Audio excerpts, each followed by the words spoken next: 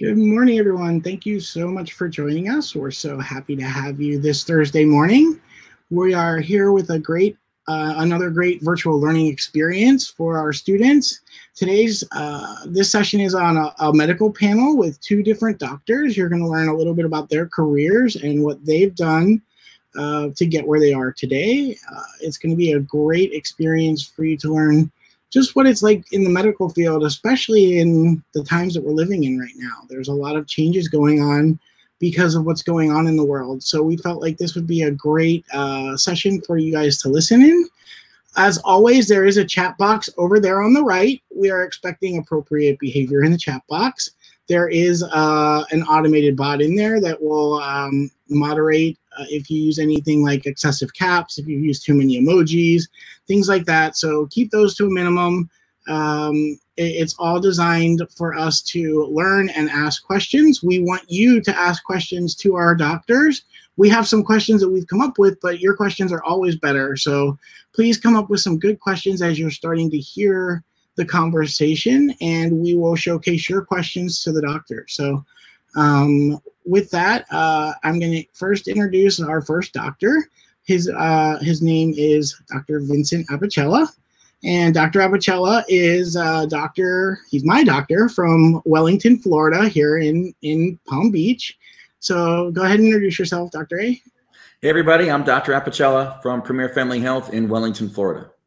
Awesome, and I also have my colleague Tasha here. And Tasha has the great distinction of introducing our second doctor. Yes, I'm very excited to introduce uh, Lieutenant Commander Tshawnda Burke, and you'll recognize the last names. that happens to be my sister. So go ahead and introduce yourself and tell everybody where you're chiming in from. Hi, everyone. I'm Dr. Burke Tshawnda, and I'm a pediatrician, and I'm chiming in here from Naples, Italy. Naples, Italy. So, John, you want to show everybody how far away she is? It's about a six hour difference, right? Six hour time six difference. Hours. So it's about um, it's five thirty in the afternoon here. Yeah, so it's five thirty in the afternoon. So awesome. when we get into um, the discussion about um, various careers, um, she'll have an opportunity to let us know some of the fun places that she's worked. Awesome. So Tash, Tasha, take it away with the first question. Okay, great. So um, the first question that I have for you too um, is what type of doctor are you? Can you explain to those listening uh, what what is it that you practice? Sure. I'm a pediatrician, um, so I take care of babies and children and teenagers and even some young adults. And so I'm a doctor that provides basically general medical care from birth, including attending the delivery in the hospital, all the way until approximately about 22. Um, the average age that my patients will transition to an adult doctor is somewhere between 18 to 22. Dr. A? And I am a primary care physician with, or a general practitioner. We're called a lot of things from primary care to family medicine. I am board certified and trained in family medicine. Uh, about I've been in practice for this is going on year number 16 for me. And about five years into clinical practice, I went sort of back to school and received training in functional medicine as well. So I have a board certification in family medicine and I practice primary care, but I also am fellowship trained in functional medicine as well. That sounds fantastic. Um, and you guys have two totally different backgrounds of how you became a doctor.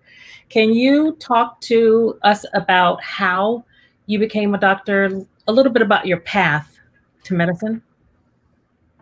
Sure. So I, I, knew always that I wanted to do something healthcare related, something science related. Um, in college, I majored in biology and took a lot of my pre-med courses, so a lot of chemistry, um, physics, biology, and things like that, and then applied to medical school.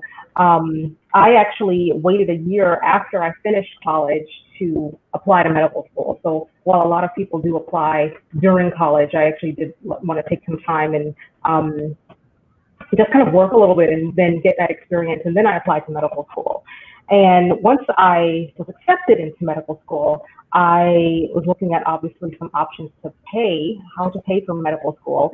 And that's kind of how I entered this military option. So I knew that I wanted to get lots of unique experiences. I knew that I would either be um, facing a lot of debt or um, considering either some public service options that help pay for medical school.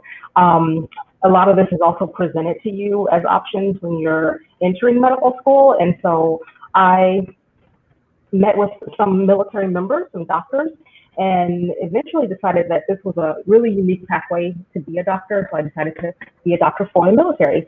And so um, the way that worked for me is I went to medical school, um, not in the military, but just a regular medical school, essentially, um, wearing civilian clothing. And then when I finished medical school, that's when I joined the Navy, officially became active duty, and now I'm a pediatrician in the Navy. Um, following medical school, I did complete three years of pediatric residency to actually learn specifically pediatric medicine.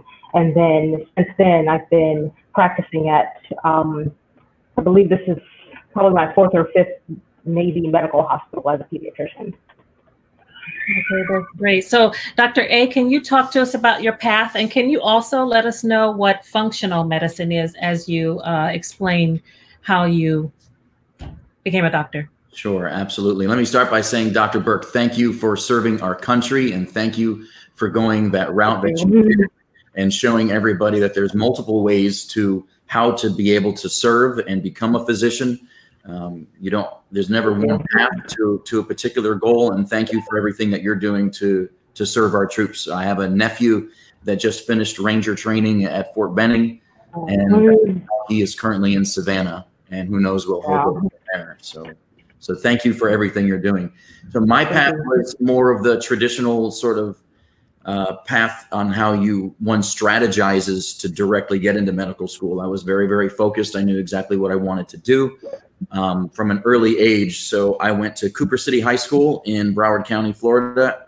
Then I went to Florida Atlantic University in Boca Raton, and I majored in biochem. And if I had it all, had it to do all over again, we can, you know, maybe ask answer some of those questions that some of the kids might have as far as what should you major in. I probably would not major in a science, but I really stunk at math, so mm-hmm. science was my best route to go. So I majored in biochem, and at that time, Florida Atlantic, and they still do they have a great pre-med science program. And I essentially finished Florida Atlantic in about three and a half years and plan on taking about a year off before I went into med school. But I actually got in uh, unexpectedly, so to speak, uh, at Nova Southeastern University in, in Fort Lauderdale. I lived in Plantation, so I would watch that school being built every day. And I was the second inaugural class at Nova Southeastern University on their Davie campus, which is now enormous. And after four years of med school, I knew I wanted to be a family medicine provider. So I jumped right into a family medicine residency, which is three years. So undergraduate studies, four years. Um, medical school, four years. The first two years are clinical. The next two years are clinical rotations, usually off-site and working in different hospitals. And then I did a three-year residency in, in family medicine right here at Wellington Regional Medical Center in Palm Beach County. And the functional aspect happened to where I was not exactly thrilled with where conventional and traditional medicine was taking me and the results that it was providing for my patients.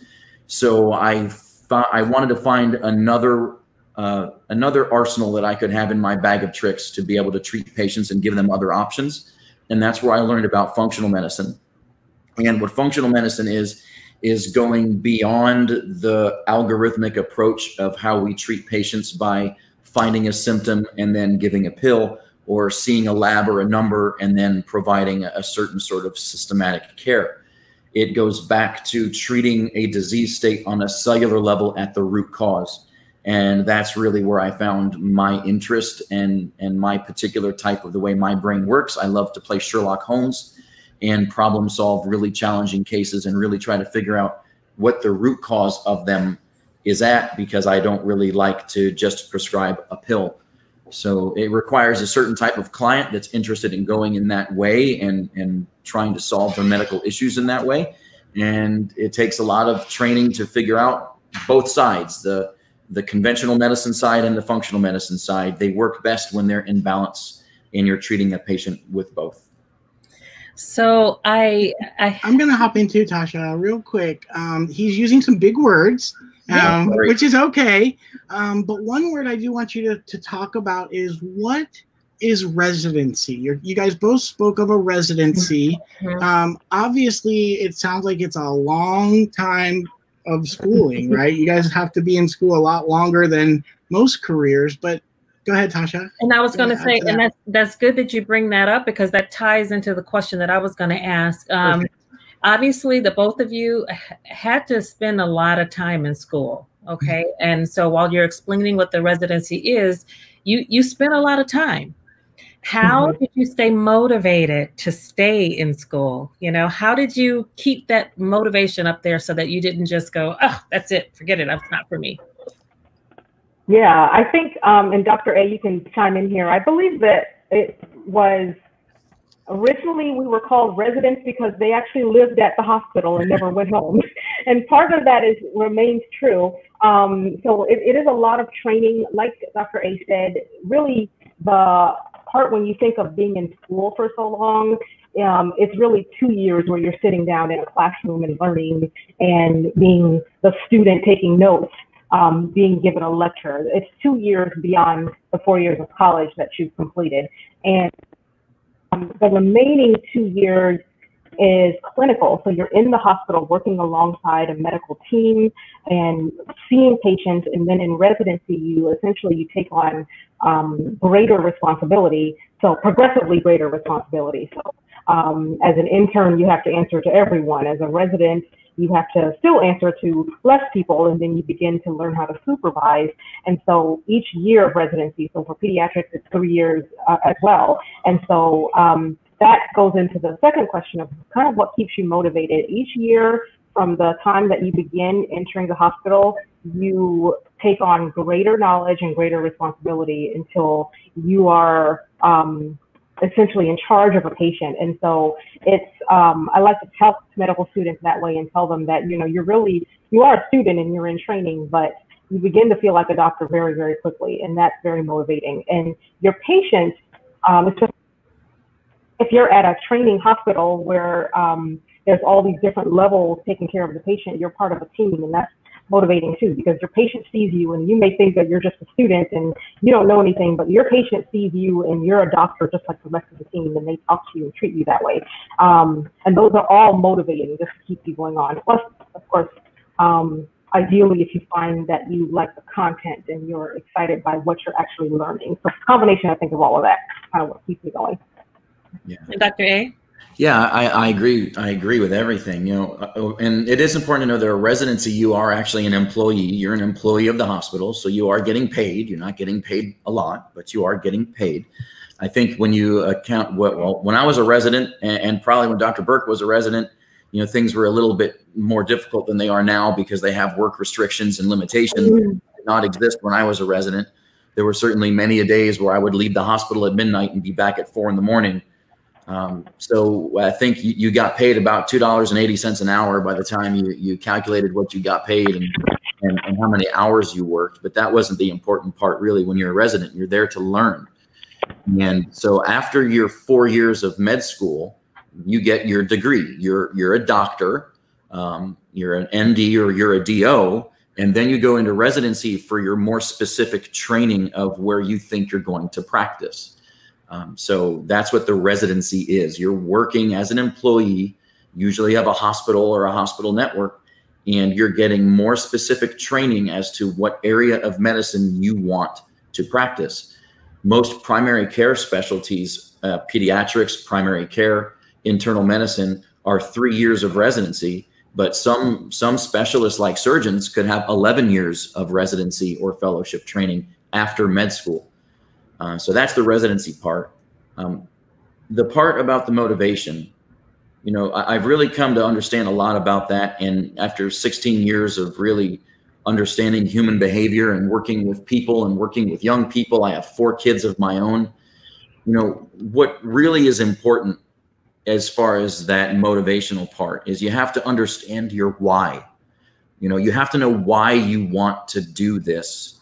And it's great to have dreams and you should have dreams. Um, but then you start to create a passion for something or a vision, which becomes the reason why you want to do it. And then you can make a goal. And goals are great, but without action plans, those don't happen either. Then you create an action plan for your goal, and then you actually achieve something extraordinary. And those are sort of the steps that you have to take. And if you don't have the right why you want to become a physician, I've seen so many people be horribly unhappy and bitter and jaded and not enjoy and find fulfillment in this profession because they didn't go into it for the right reasons. And I know a lot of the kids listening out there, they're some of them uh, don't even want to think about what they want to do when they're older and some of them stress out every day because they think that they're supposed to have an idea of what they're supposed to want to do and they don't yet and either way it's uh, unneeded stress just start to think about what you're passionate about think about why you want to do it. What is the true purpose behind it? And then find a way to make it happen. And you really have to have a strong why to be a physician. If it's because you think they make a lot of money um, then really you're an entrepreneur and you need to go into something that's more along those lines. You really have to have a strong purpose of a, a desire to serve and to create something outside of yourself uh, that is extraordinary for the lives of the people that you come into contact with to be a, a physician that finds fulfillment in their career. And that's probably the most important part. There's a lot of physicians out there, but not a lot of them are fulfilled in what they're doing. And that's really uh, not a great thing for the patients they're trying to serve either. That is um, that's some really great advice uh, we can all take from that finding the why. Why is it that i get up every day to do this? And really understanding that to give you more commitment towards your work um, here's a question. What continuing training and education is required after you become a doctor? So you are a doctor now. Are you required to still do training and, and more ex- extended courses or anything like that? Mm-hmm. Um, so, um, and this is, I'm assuming, like following the completion of residency and you're um, actually out in practice. Um, for me, there's um, a certain amount of continuing credits that I get. And so, what that means is, you know, every doctor, you have to stay on top of the latest information. Um, medical care is constantly changing. And so, every year, I aim to do online coursework to stay on top of just, you know, the latest in pediatrics essentially. And then um, also as a naval officer, of course, there's quite a great a deal of military training that also goes into just my career in general. And so specifically with in terms of medicine, though, most of my um, continued education is either in the form of going to a conference or doing online programs to just stay on top of the latest. Um, and there's very little actually for my specific state license. There's actually um, very little that's required. I do great a, a, great deal of it just because I want to and I like to stay on top of those things. And so I have very little that I'm required to do, but I try to every year to get lots and lots of either conference time or if I can't because I'm in Italy, I don't have the ability to go to the States a lot. So I do a lot of online work. Dr. A? Yeah, yeah, I believe the actual number is 120 hours of CMEs that that I'm supposed to be doing every two years. And exactly right, like Dr. Burke said, it's in the form of conferences, usually under these strange times of COVID 19.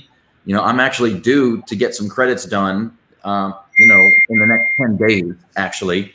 And I can't because there's no conferences because they were all canceled and I can't even get access to online stuff. Mm-hmm. So I'm in a little bit of a pickle personally right now with some of that stuff. And it is very somewhat controversial too because uh, there's always arguments as to how many are needed and what are really needed and is it really useful and which associations are tag teaming up with other associations to they're trying to merge all of our CME hours you know between the different branches and associations of medical powers that be and they're always fighting amongst themselves and and so you have to keep up continuing education hours for your board certification and for your license you have to keep up the ones for your license, but you don't necessarily have to always be board certified. Um, that's something that even some physicians don't even truly understand that, you know, once they're board certified, that runs out, whether it's seven years or 10 years, it's different by specialty. and you have to renew your board certification, which means you need more hours and another test and uh, more nonsense. So um, you actually brought up the the elephant in the room. Um, oh. Yeah, you can't. It's so hard to talk to medical professionals without asking um, this question, and this is sort of a two part question. Um, when you look at your typical day prior to um, COVID 19. And then a typical day now, can you talk to us about what it's like and what the difference is that you're seeing? Yeah, um, this certainly we, we weren't prepared for this really either. Um, Italy, as as you know, if you've been keeping up on the news, Italy was hit really hard, um, one of the hardest hit countries with COVID nineteen. So we had to really put things in place pretty rapidly. And so initially, before, you know, in February and before that, my non COVID life was of a typical busy clinician. And what that means is I do a mix of coming in in the morning and I see kids who come for their doctor's appointments and then i also see babies who are born in the hospital. And my day was pretty much that. I work pretty much an 8 to 5 um, 7.30 to 4.30 or so day. And then um, i also am on call to my hospital. And so what that means is i take turns with my colleagues um, being the emergency on-call doctor when there's an after-hours emergency for a kid or a baby. And so all of that changed, of course, um, with COVID. Our facilities had to do a lot of downsizing, so I do a lot of virtual medicine now, which um, was something I'm, I'm actually learning this process now because this is not something I was used to 10 years ago when I was in medical school. And so I'm seeing my patients either via phone call or, or um, virtually, and we're trying to handle as much as we can. We're trying to keep people out of the hospital who don't actually um, who aren't acutely sick and if they are we're kind of channeling them to a certain area so they're not um, in contact with vulnerable patients. And so my day now is a mix of taking turns with my colleagues in staffing the hospital. And so we've downsized a lot. Um, I do a lot of work at home and I take turns with my um, pediatrician colleagues and actually who goes to the hospital. So I'm at the hospital a lot less now. What about you? Yeah, I mean, it's my role is a little bit different in our organization because I'm CEO of the company and we have 16 medical providers uh, within our company. And I have, uh, I wear multiple hats. So I have to wear the CEO hat and I have to wear the uh, provider hat on some days. I actually see less patients certainly now um, than I ever have before in my career. So my job in the organization is sort of as the visionary component to come up with the what's next strategy. That being said, I was supposed to actually be on a sabbatical this year and mm-hmm. focusing on some other things. And that all went into uh, an, an, abyss. And I don't think I have actually worked as hard as I'm working now uh, in over a decade as far as it comes to leading the organization and in the community with trying to find the right ways to keep everybody safe. We have 100 team members. So I have to figure out how to keep 100 team members safe. I have to figure out how to convert an entire practice into telemedicine overnight. We have 30,000 patients in our community of 100,000 people. So I have to figure out, and it's really my job along with my team to figure out how are we going to keep this this whole thing running and still solve this mystery of COVID-19 and keeping everybody safe. So it has been uh, a lot of sleepless nights. I don't think that I, I haven't slept much in a long, long time because my brain just never stops thinking of, well, how are we going to take our current strategy and, and what the blueprint of what we do in primary care, how are we going to take that and we have to completely throw it away and change it to prepare for this new uh, entity of COVID 19 that is a major disruptor right? So when you learn about business, kids out there, when you take business classes and you and you learn about different strategies, you're always going to learn about there's disruptors that come into into work environments or economies or or cultures. And this is certainly one of those things that's identified as a disruptor. And for us, we were contemplating strategies before COVID 19 ever uh, was in existence that were going to change the way that we handle primary care. So what COVID-19 has forced us to do is expedite the process to hyperdrive, warp speed to come up with these strategies that were just visions at one point and thinking of what our ideal vision of primary care was going to be. And now we actually have to create it and deploy it in a very short period of time. That was that was that was great. Um, the one thing that I think of is I just I can't thank you both enough because you truly are um, you know on the front lines of this, and it's your reactions that help us um, you know have a sense of uh, somewhat sense of calm, you know, just in in all the work that you're doing um, for us. Um, Dr. A, you brought up a really good point, and also Dr. Burke, you did too. Um, you guys talked about when you were in school, you took a lot of science classes and biology and stuff like that. But then, Dr. A, you also mentioned um, that problem solving is, is a skill that is very, very, very necessary in what you do. And then you mentioned something about business classes as well. So, my question to you and for um, everybody listening is when you think about being a doctor, you think, oh, I just need to take, you know, math and science, math and science. Um, but can you tell us some other things that um, will make you prepared for these things, like you being the COO and you know you being in management sort of positions, um, Dr. Burke? So, what are some other subjects that students can take?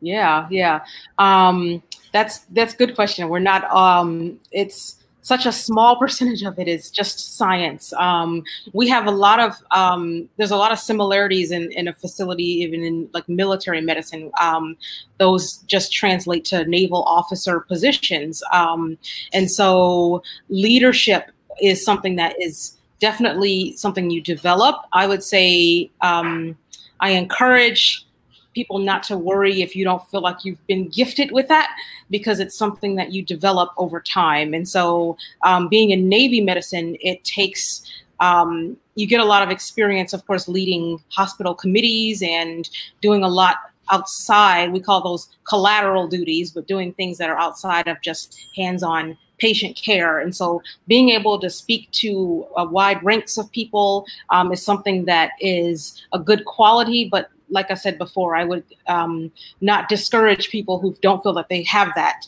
um, from entering Navy medicine because it's something that you most certainly will develop with experience.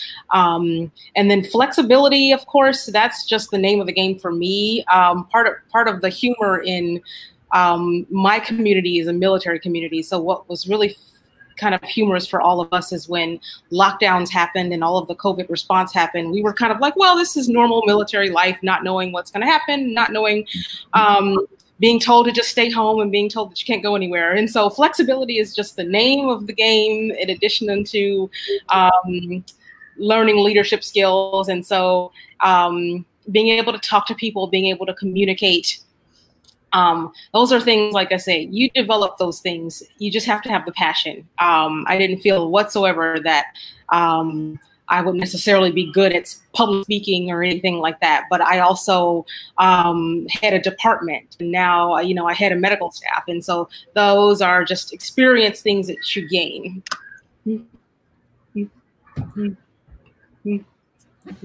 And dr a yeah, absolutely. I, I completely agree. I mean, if I had it to do all over again, I probably would have taken a lot more business classes in, in college. You, you don't have to major in a science to get into med school anymore. Uh, everybody thinks that that's the name of the game. I, I always encourage younger kids to take some business classes, take some human behavior classes, read a lot of books you know, probably the best book out there for any high school student to read that wants to pick a career is probably Start with Why by Simon Sinek. I think it's a great read for high school age kids. I've already made my older teenagers read it, and one of my kids now is like a Simon Sinek uh, junkie. Um, he, he, you guys will probably know Simon Sinek from TED Talks. Some of the high school students have probably seen some of his TED Talks, but read the book and really understand the book. Start with Why. I think it'll really help you out but just become a well-rounded knowledgeable person. You don't have to pigeonhole yourself into one area of study i don't believe anymore.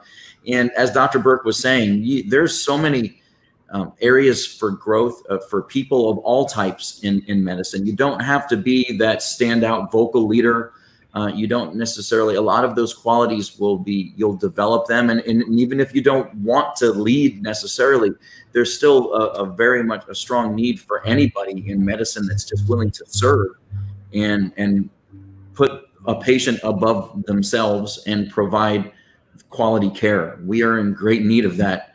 And it, it's, it's really important. That being said, uh, I think for the high school kids that might be tuning in, I just see in that generation of culture a huge opportunity for leaders to really set themselves apart right now. I think that generation is starving for quality leadership. And I think for those that really have a passion and a strong purpose, they're going to stand out and they are going to be the change makers in their generation. I agree. I agree. Um, I believe we have a couple of questions from the chat. So let's see what's going on here. All right. So, do you think virtual medicine will now be taught or discussed more in medical school? Now, we do have a lot of uh, medical academies um, in some of our high schools. So, this is a great question. Yeah, I, I think most definitely. Yeah, I believe it's not going anywhere. I mean, this is where medicine should be. This is what we've been trying to implement even before COVID 19. So we've been working on these telemedicine strategies to begin with anyway, because we have to engage with patients more. The more we engage with a patient, the better quality of care that we can provide. It doesn't always have to be face to face. And that goes for whether it's our our younger, whether it's the millennial generation or you know the that 45 to 65 year old a patient that is always busy at work or running the family life and they don't have time to come to the doctor telemedicine gives them an opportunity to do it at their convenience at in the comfort of their own home. And even for the 65 and above population the elderly population they definitely need a certain amount of face-to-face visits. But the more we can engage with them on a consistent basis even once a month we're just going to be providing better care for them. And oftentimes in the elderly population they value that communication with their doctor because loneliness is a huge thing in the elderly population. And sometimes their visit with their doctor is actually the only human contact that they might have mm-hmm. in the course of a day. And especially now with COVID 19, where we're having so many people socially isolate, it's a very dangerous thing for loneliness issues in the elderly population. So sometimes just even that telemedicine interface or that phone call with an elderly person is completely the highlight of their day. And that actually has a lot of value in their overall well being. Yeah, it, it wasn't learning learning virtual medicine and telemedicine wasn't um, a part of my training at all. Um, but it's it's most definitely has to be at this point. Um, another another thing that um, was said is you we've now discovered what meetings can be done virtually. And so we'll, we're, we're discovering exactly as we're, we're learning this as we go along but we're learning what types of medical care can be done virtually. And so um, that extends to us in pediatrics as well. And so lots of um, visits have been able to transition to just being triaged more. And so what that means is just you know we've been able to really fine tune things that we could just accomplish online or just accomplish over the phone that's great Let's see if we have any uh, more questions from the chat. Uh, looks like we have one for you, Dr. Burke. Um, do you only work with patients who are kids of soldiers, or do you see kids from the local area in Naples? I saw I saw the question in the chat actually, and I think um, another i saw another question someone asked if i have to know italian um, and so um, a lot of people ask me that question kind of what's my patient population as a military doctor. So, as a pediatrician in the military, I am the doctor for children and babies of soldiers, sailors, airmen, and Marines. Um, I'm I'm joined the Navy myself. The majority of my patients are children of other members of the Navy, but military hospitals, whether they're Navy or otherwise, they treat all service members. And so the majority of my patients are the children and babies of um, active duty service members who are stationed in the, the, the, location that I'm at. And at this point, it's overseas in Europe. Um, and I've been I've been stationed in other places, and so they, you know, wherever there are troops that families live, and so I've been stationed in Japan. Um, I've done some assignments in Spain as well, and then in a couple of military hospitals in the United States. And so um, wherever there are troops and wherever there are families, there are children. And so um, the Navy will bring the medical care that the families need. So in addition, our hospital, in addition to providing things like um, care to babies, you know, you can be many different types of specialties and be in the military. You can deliver babies in the military. You can be um, do primary care, see psychiatry, things like that. So my patients are military children largely. Um, I don't when I'm overseas like I am now. I actually I don't see children who are um, local Italian children because they're not um, beneficiaries of the military, the U.S. military system. Um, I am learning Italian I cannot say I have a lot of skills in Italian, but I'm learning Italian, and that's primarily because I want to love as I want to absorb as much as I can while I'm living here. Um, but I speak English to my patients. So. And and what's interesting um, before we go to this second question is that um, your, my my niece um, was actually born in Japan and she's in Italy right now. She's five and she's learning Italian herself. I just had to throw that in because I'm just so proud So um, let's go to the next question. Are you finding ways to bring more Eastern medicine into your practice? This is a great question. How do you approach your work from a holistic perspective? Dr. A, you want to start with that? Sure. So um, I went to a, an osteopathic medical school. So I'm what's called a DO. There's two forms of medical doctor in, that are approved forms of medical doctor in the United States and really across the world. And those are doctors of osteopathic medicine, DOs, and doctors of allopathic medicine, which we are, are MDs. So those are the only two approved forms of medical doctor. And the osteopathic training at its core was a more holistic approach, more hands-on um, than at that time when I was going through training than our MD counterparts. And now what we're finding is there's just really this big gray area and this big merge of how of different philosophies of conventional medicine. And there's a lot of MDs that like to practice like DOs, and there's a lot of DOs that do nothing but write a prescription and they they practice like what we used to think only MDs practice.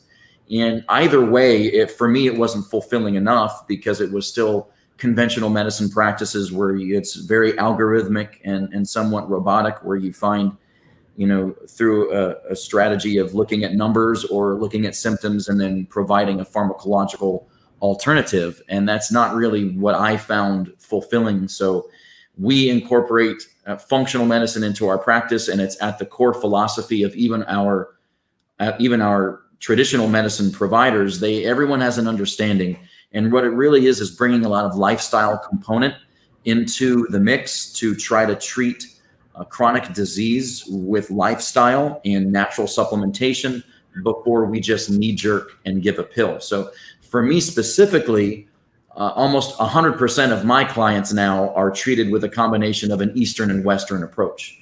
And really, in our practice in general, a lot of the providers see things in practice that way because that's honestly that's how you get the best outcomes for the patient. Mm-hmm. Thank you you want to add anything, Dr. Burke? Sure. Um, I have a lot of DO colleagues as well. Um, my degree is an MD, so Doctor of Medicine. Um, but I, I, try to incorporate a lot of, um, not necessarily Eastern medicine, but I do have an interest in complementary and alternative medicine. And so um, I'm a member of a, an alumni network through the University of Arizona, and it's a Center of Integrative Medicine. And so um, they have an online fellowship program um, that I completed probably about four, four, or five years ago now um, that focuses on a lot of botanicals, a lot of herbs. Um, sometimes it's useful and sometimes it's not in, in my career, but um, it's pretty expansive and they have programs also where you can self-educate and you can do modules and you don't necessarily have to be a doctor so there's a lot of information there that i um, use and so i still maintain some of the alumni access and try to kind of incorporate it when i can and we have one uh, final question before I let you to uh, wrap it up with some final words. Um, students may not know that healthcare is very different depending on which country that you're in. So, doctors, what do you think the biggest issue in healthcare is, um, either in the US or Italy, or um, if you could just talk a little bit about maybe some of the differences? Yeah, I see um, where, I am. Um, I see some differences. You know, I, I practice US medicine um, in a different country. And, and I've seen it in, um, I was also stationed as a pediatrician in Japan for three years too. And so I learn a little bit about the way that medical care is there because we have patients who, um, the way medical care works at our facilities is that we're are a limited hospital. We're not uh, a major, major medical center. And so if we have a patient that gets too sick for us to take care of, we transfer them to uh, a more advanced hospital. And that would mean transferring them to a hospital in the host country. Um, and so you get a lot of opportunities to talk with the doctors there and um, see the differences in how the medical care is delivered. There is a lot of cultural differences, of course, and so um, I learned a lot about how you know Japanese culture is different and Italian culture is different, and so um, and then in terms of barriers and challenges, of course, access is always the biggest thing that I think of. Um, even just just right in the United States. I mean, access to medical care is just one of the greatest greatest challenges um, that we face compared to other uh, industrialized countries. You want to add anything, Dr. A? Yeah, and you know, what a cool experience that must be for you, Dr. Burke, to be able to experience what healthcare is like in different cultures and and yeah. just take some parts of what you learned from one, but then you may have to completely scrap it because it's a completely different philosophy in another culture, and then you have to relearn that culture. But that that's just a really cool opportunity in my eyes. But mm. here in America, um, yeah, we have the to me the biggest issue is the patient access is a big issue, but that's almost a ramification of what the main problem is. The main problem is is we have a tremendous amount of chronic disease that needs patients to have access because of it. And if you go a little bit unpeel the onion as far as to why do we have an access problem? We have an access problem because we have too many people that have chronic disease. We have too many people that have chronic disease because our culture really lacks personal accountability for their health care and doing the right thing to prevent disease. So i would say disease prevention and personal accountability is one of the biggest issues that we have in our culture in the united states because about 80% of the diseases that we take care of on a day in, day out basis are essentially self induced disease states, whether it's diabetes or heart disease. It's these are the things that if we took better care of ourselves and we educated at a much younger age, proper lifestyle with nutrition and exercise, and we just made people aware that they are in control of their healthcare destiny to a large degree, well, then we wouldn't have as much chronic disease and then we wouldn't need as much access.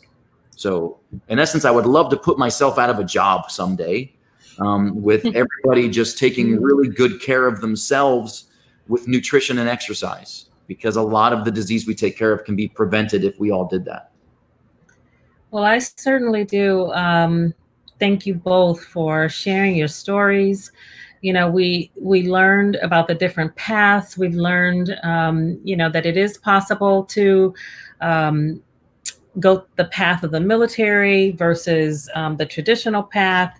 We learned a lot about um, you know the different types of medicine that you guys do. Um, there was a big word that you used dr apatow that you might want to um, define. You used sabbatical. Oh.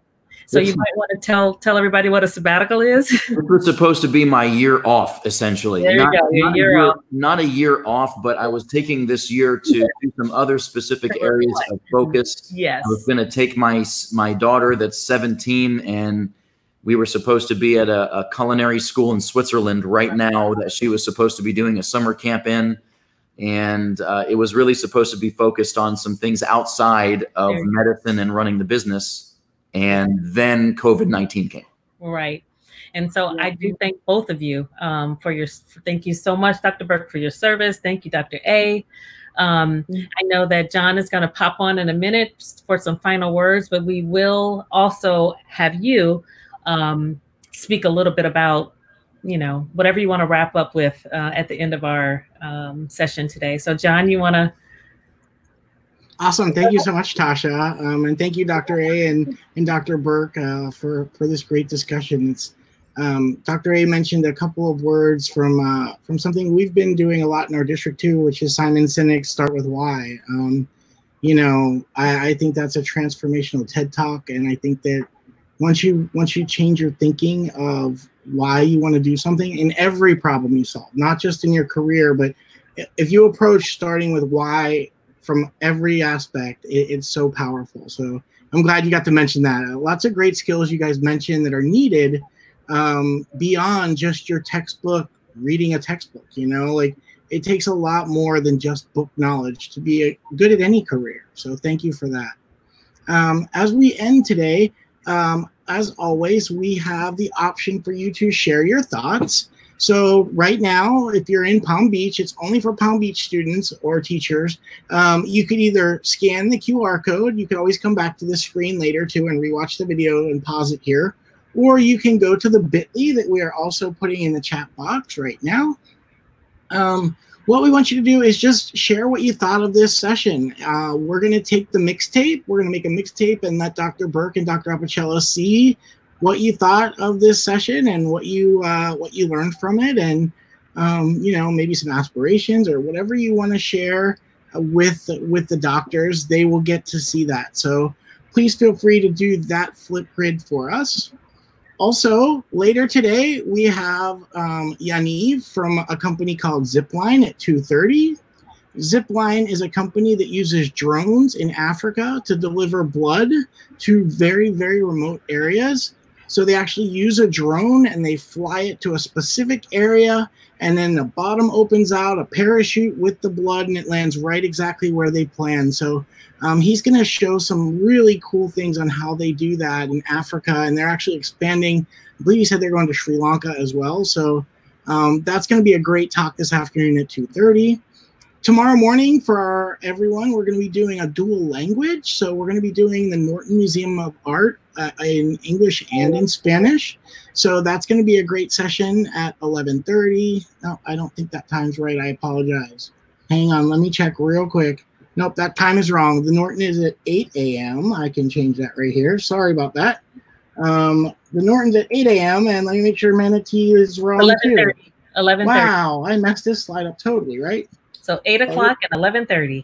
There you go. So at at 11:30, the Manatee Lagoon is going to be on, and they're going to talk to us about the manatees over there uh, on Singer Island through FPL. So that's going to be a great session as well. So um, all of this is on the website. You can please visit that website. I believe I created a banner here. No, I haven't, but um, it's on our, our EdTech training website as well. So you can just go to edtechtraining.palmbeachschools.org and click on virtual learning experiences. Also, with each of our um, each of our panels, there are some resources for teachers. Um, so we have some articles on medical uh, that the kids can read about becoming doctors. So uh, teachers, please feel free to share those with your students as well. So with that, doctors, we're going to give you guys the last words. Dr. A, you want to give some last words, and we'll end with Dr. Burke.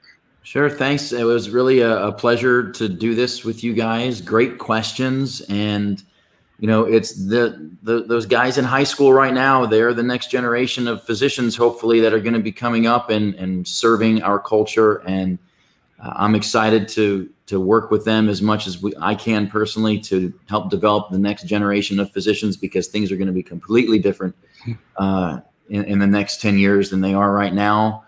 And it's really just a pleasure. I thank Dr. Burke for everything that she's doing, helping our troops and serving our troops. What, what a, an amazing, brilliant value that you are to them. Thank you. And yeah, please get out there and read Start with Why.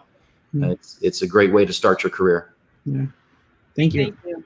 Um, and, and thank you again. Thanks for having me. I love to talk about this kind of thing because mm-hmm. I knew nothing about it as a medical student um, until some recruiters actually landed on my doorstep. The only other thing I can think of that I'm frequently asked is um, how long do I have to be in the military? And so um, I joined um, the Navy to pay for medical school, and they paid for four years of medical school.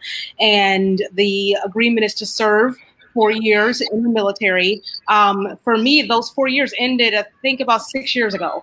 So mm-hmm. I'm about 12 years now in now, and so I just want to leave. The, the, the opportunities are so broad, and so um, I love to talk more about it. And um, people can reach out to me if you have specific mm-hmm. questions, because mm-hmm. um, there's not a whole lot of, of us out there. So thanks for having us. Awesome. Thank you.